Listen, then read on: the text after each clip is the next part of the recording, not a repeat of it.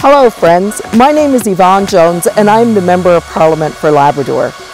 We have to be there to support Indigenous communities and Indigenous people. We also have to recognize that they're not all the same because it not only responds to those that are the loudest or those that may be the most affluent, it responds to the needs of all Canadians, even those that have been left behind. Now the feds are pulling back. They're dancing around this commitment and they have signed no agreement. Where is the $280 million in compensation that you promised Newfoundlanders and Labradorians? I have asked uh, quite simply that Labrador quotas be protected. Uh, we're completely adjacent, but we have the smallest proportion of the resource at this particular time. And if I would say to the members opposite, you may want to stand in this place and vote against that, but I certainly will not be standing in this place and voting against it. Not with those statistics. He's ripping the guts out of everything else in Newfoundland and Labrador. Throwing the insults over here won't stop us from throwing questions back. There are lots of questions to answer, and if you want us to stand Order, by please. your deal, you provide the Order, answers please. in the House of Assembly. Is that wise? Of course it's not wise.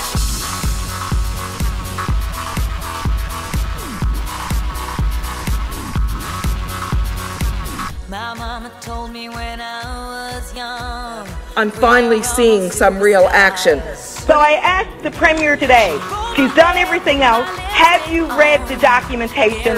When you continue to do the same thing, you get the same result. If we're ever to move away from the colonialism that we have experienced over the many years in this country in dealing with indigenous governments and people, we have to start thinking differently to get a different result. Thank you.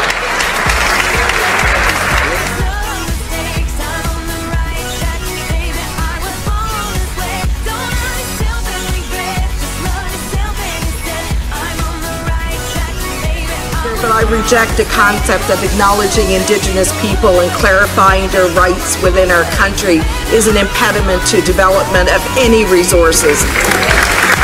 And I'm happy that my colleague opposite is bringing these issues to the House of Commons. That's where they need to be.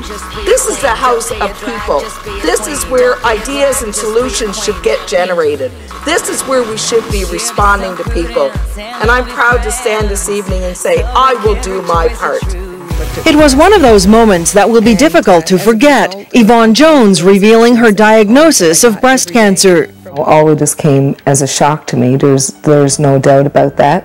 Um, but you know, I have such a fuller appreciation today of what people go through with cancer uh, in terms of discovering it and the emotional uh, piece that you go through. And what I had was um, a very uh, aggressive cancer. Uh, therefore, my treatments will be aggressive as well.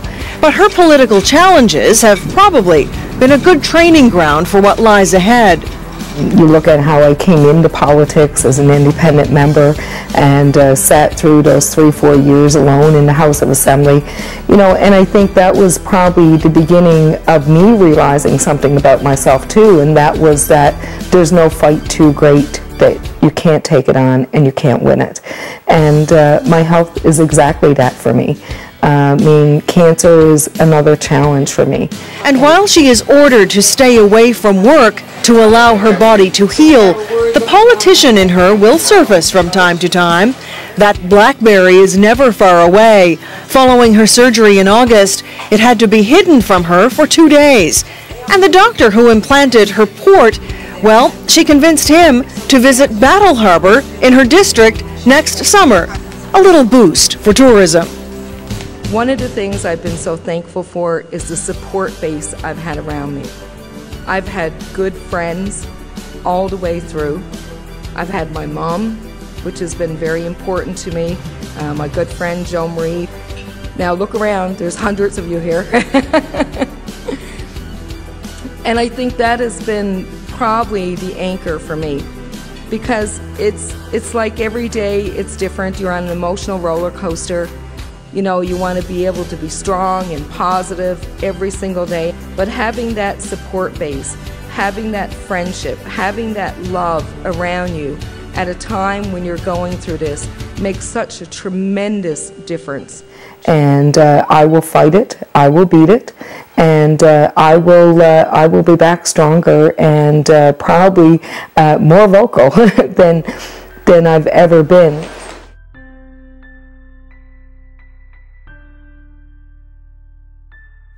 Get with the program, bring in a national policy to screen women over the age of 40 and give us access to that service. March last year, I presented a resolution to the Honorable House to lower the age of breast screening in the province from age 50 to 40. At that time, government deferred the decision to the Cancer Control Advisory Committee. During the election, the government also promised that within 90 days they would conclude a review of whether it was appropriate to lower the age to begin breast screening in Newfoundland and Labrador at age 40.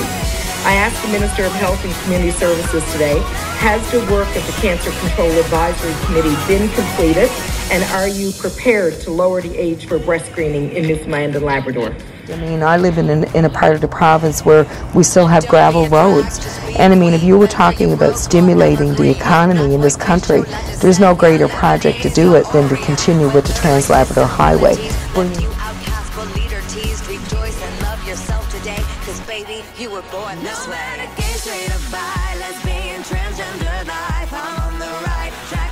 Time, we are continuing to invest historic amounts of investment in the billions of dollars in First Nations education, healthcare, housing, community development in all uh, all areas of the country in all Indigenous governments.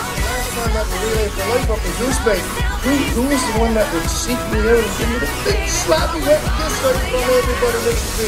That was the honorable member for Cartwright L'Anse au Clair.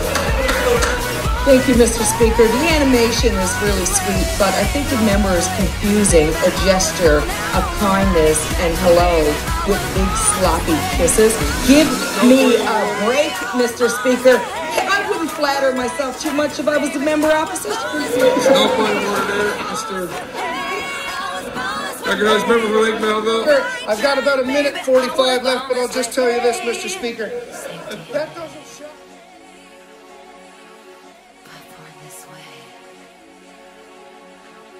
Same DNA.